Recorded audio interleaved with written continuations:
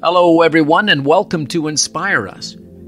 I want to take a moment here to talk about the world's conflicts and what we're all going through. Not only are prices of everything going up in this world, God, it's just so difficult to make ends meet. People are losing their homes. People are not able to get into the market to buy a home. The rising cost of living is ridiculous.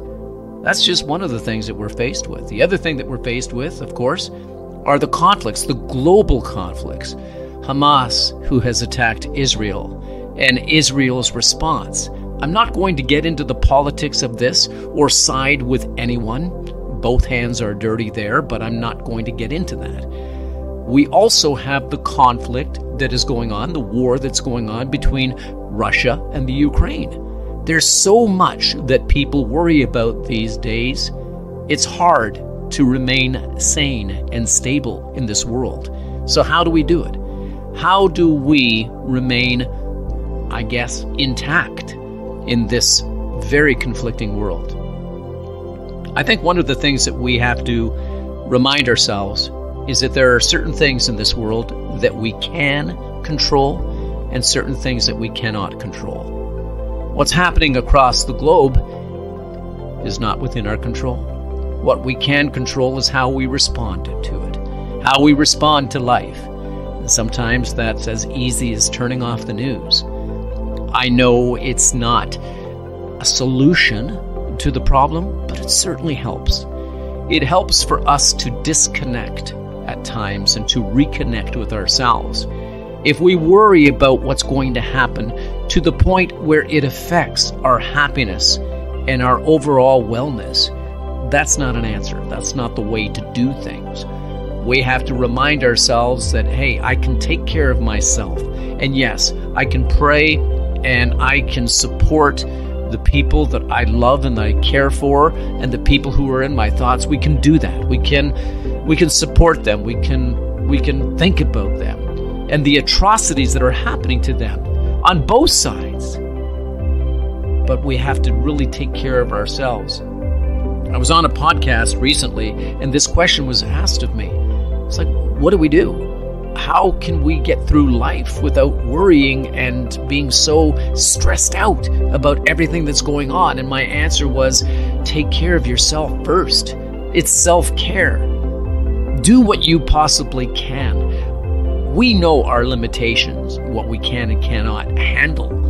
And I think we have to remind ourselves that we take care of ourselves first. Imagine this anyone who's traveled on a plane knows that before takeoff, there is an announcement. I've watched some pretty entertaining videos eh, of uh, some assistants uh, in in the United States on planes these are the stewardesses or the stewards who are on the plane and they, they go through this really comedic uh, presentation on what to do in times of turbulence. However, for most of us, at least here in Canada, we have this recorded announcement that tells us that in the event of turbulence, there will be there will be masks, oxygen masks that will drop from the ceiling, and we are told that it's important to put on the mask yourself first and then help those around you. And that message is really true about life, isn't it? We have to take care of ourselves first before we can take care of others. I think we have to remind ourselves that self care comes first. I need to take care of myself. Is this news hurting me? Or is it something that I can handle and that I want to be informed on. That's up to you. You're the judge. Nobody can make the decision about that except yourself. You're the one who has to decide how much of it you can take. So take care of yourself. This also includes preparing yourself for the day mentally and physically. A lot of people start out their days by getting up, throwing themselves in the shower, dreading their day because a lot of people don't like the work they're going to if they're working at all, and some people don't have purpose in life. But for those who do have jobs, or whatever the circumstances may be. How about starting your day off with intention? By that I mean, start off with a moment of gratitude. This can be anywhere from 10 seconds to a minute, as long as you want to make it. Take a moment, take a few moments to be grateful for what you do have.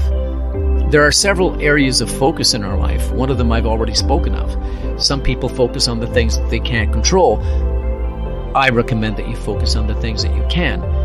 One of the other areas of focus is on the things that we have. I think it's very important for us to focus on what we have and not on what we don't have. That's so very important. A lot of us, I wish I had this, I wish I had that. One day I'll have this, one day I'll have that. But they forget that they have a lot to be grateful for in this moment. If you woke up this morning, a lot of people didn't. Are you grateful for that? If you have a roof over your head, have you thanked your lucky stars, your God, the universe, or whoever it is that you thank for having that roof? Do you have people who love you? Are you in good physical condition? Whatever it is, people can find things to be grateful for. I've interviewed many people with severe disabilities who are grateful for what they have and they find ways to maximize what it is that they have. They don't focus on their disabilities or what they don't have. They are grateful and they they share their smiles and their ideas with the world. How great is that? So, starting your day off with intention is one of the things that I would highly recommend to each and every one of you. Start off with that gratitude. Next, take a few moments to go into the closet of your mind. The night before we have a big event or before we go to work, many of us will select our clothes, right? We'll decide, okay, well, tomorrow I've got an appointment or I've got work. Uh, I need my suit, I need my dress, I need whatever. And I set it aside for the next day so I'm not rushed in the morning. that's some people, folks. That's not everybody, but that's some people. So some people will set it aside, but the fact is that they are planning for it. They are planning for their next day. So they take the time to select their clothes and their shoes and whatever it is to look into the forecast for the day. But how many of us, the day that we wake up, how many of us actually step into the closet of our minds and select our attitude for the day? Just as important, if not more important, than the outer clothes that we wear should we not be focusing on our inner selves, what we're going to bring to the day, the choices we make, to start our day off with intention by choosing our attitudes? You see, if you could imagine your mind as this closet, actually a hallway with two closets, one on the left and one on the right. I'm going to use the one on the left as an example first. That closet, the doors are closed and there's a lock on it. And the reason that there's a lock on it is because that's a pretty dark closet. It contains very dark garments of our past, disappointments, losses, times we were made to feel inferior, anger. All that kind of stuff is in that closet.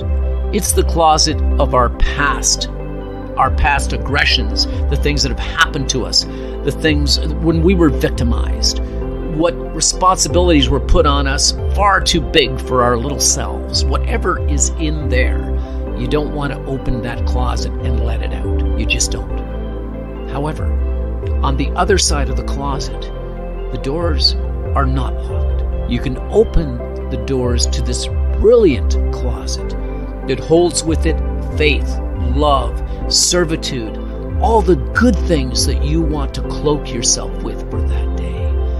You want to tell yourself that today I am going to be the best version of myself that I possibly can. I am going to wear a cloak, a garment of servitude. I am not going to let this life get me down. I'm going to take control of this day.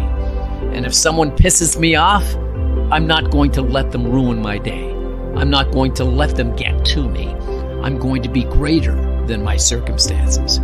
This is so imperative for each and every one of us to do is to choose that attitude that we take during the day that we use during the day when times do get tough. Because let's be honest, this world ain't all rainbows and sunshine. It can be a cold and nasty place. And it's really hard at times. And we have to remind ourselves that despite what happens to us, we have a choice on how to respond to what happens to us. That's what matters. So I wanted to remind everyone that yes, there are a lot of conflicts that are going on in this life. There are a lot of things that are going on in this world. And many of these things we cannot control. And my heart goes out to all the innocent victims who are being killed and, and mutilated and destroyed. And can't, it just upsets me to think of how evil this world can be. And I have to remind myself that I can pray for those souls and I can offer to do something, but I also have to take care of me.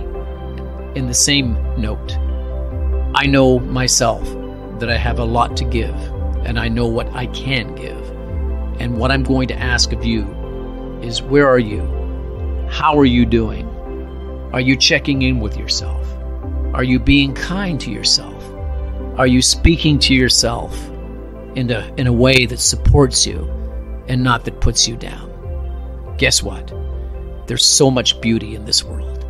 And if we only take a few moments to look for that beauty, to take those moments to meditate and to appreciate what we have, it will make a big difference in your world.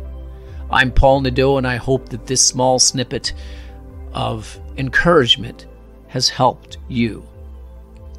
Go on out there and live on purpose.